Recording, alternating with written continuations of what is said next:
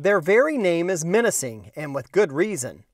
Fire ants are an aggressive invasive species of ant that can seriously injure or even kill animals and people.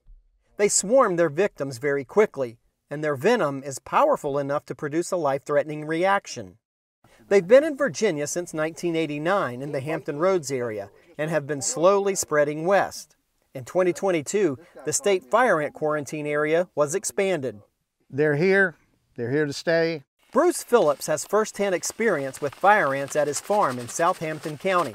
Like many farmers in that part of the state, he grows cotton, soybeans, and peanuts. He says fire ants are sometimes easy to miss.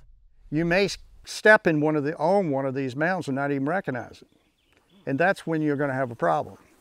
Because once they get on you, it's really, they're biting you, stinging you. Phillips has learned to look for fire ants in certain places on the farm where the insects like to congregate. They're at fence posts, around light poles, in the horse pasture, um, and down around my grain bins. The fire ants love to dig uh, right along the edge of a slab for a grain bin. All of Phillips's trucks have insecticide that will kill fire ants whenever he sees a mound. Even so, in the war between humans and fire ants, the fire ants are winning. There are now uh, approximately 15 localities where fire ants are confirmed positive and that are, are covered under the quarantine. So uh, that goes all the way west to uh, Halifax County is the farthest west that we have a quarantine.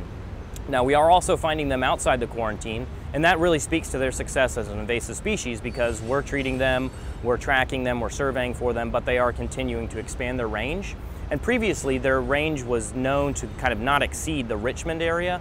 However, with climate change, we've had a lot of weather incidents like hurricanes and flooding. They are being able to spread more northward and also more westward than we were previously expecting.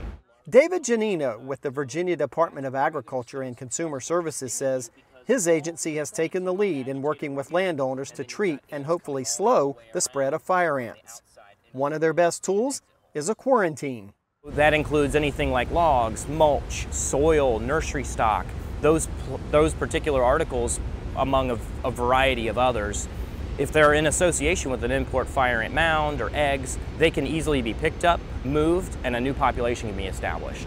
So the quarantine really works with businesses and it kind of says, hey, if you're moving these products, they have to be either inspected and found free, or you have to treat for fire ants, or you have to be taking mitigating steps to ensure that your truck or your vehicle is either looked at, dirt is removed, and, and treatments are taken to, to kill any sort of life stages that are found.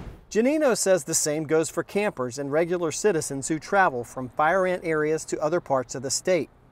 No moving firewood or other products from a quarantine area where fire ants can hitch a ride.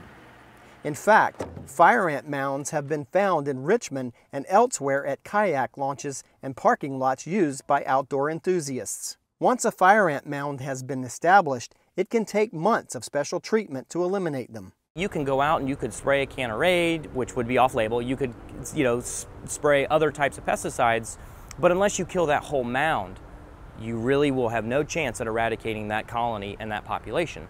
So what we use as a treatment strategy is what's called a baited fire ant pesticide that you apply to and around the mound. And what they do is they see that food source, which is laced with pesticides, um, and it's approved for fire ants with an EPA label they will take that back to the colony and stop, start feeding it to the colony. And if we are able to get that in fast enough and at the right quantities, then we can have control of that mound and you can actually reduce and kill that entire population. But Gianino says fire ants are very smart and can quickly adapt if the colony is threatened, so repeated applications are often needed. A fire ant colony is bad enough for homeowners. What's the risk to farmers and rural residents? It can range from delays to shipping crops to injuries to cattle and workers, to a loss of value for their farmland. We actually have documented cases of imported fire ants attacking either a cattle, like young cattle, and just based on the amount of swarming and stinging that happens, um, causes one an anaphylactic response in a young cattle, and it can either succumb to that or with the sting it creates this pustule. And these pustules create open wounds. And when open wounds aren't treated, and if a farmer or an individual doesn't know that there might be a fire ant mound in their field and the cattle got into it, then you've got open sores. Those can get infected, and there is a documented case of a young cattle and young goats also succumbing to infections based on um, those pustules and those sores from the fire ants. Gianino says the good news is that some federal and state funding is now available to help his department deal with fire ant colonies earlier than before. For the first time, they're able to try to eradicate mounds outside the quarantine area. And as word of the problem spreads, farmers and rural business associations are stepping up to respect the quarantine and report fire ants right away. If you suspect fire ants inside the quarantine area, contact your local cooperative extension agent to help confirm that. If you are outside of the quarantine area and you do see what looks like a suspect mound, we want to know about it here at VDACS. So what I would recommend is that if you find a fire ant mound or a suspect fire ant mound, take a picture of it, send that information along with the location of that fire ant mound to report a pest at vdacs.virginia.gov and then we'll have someone look at the picture and then send out a plant protection inspector to try and analyze that mound, take a sample and identify it if it is fire ants. Reporting from Richmond, Virginia, I'm Ricky Gibson.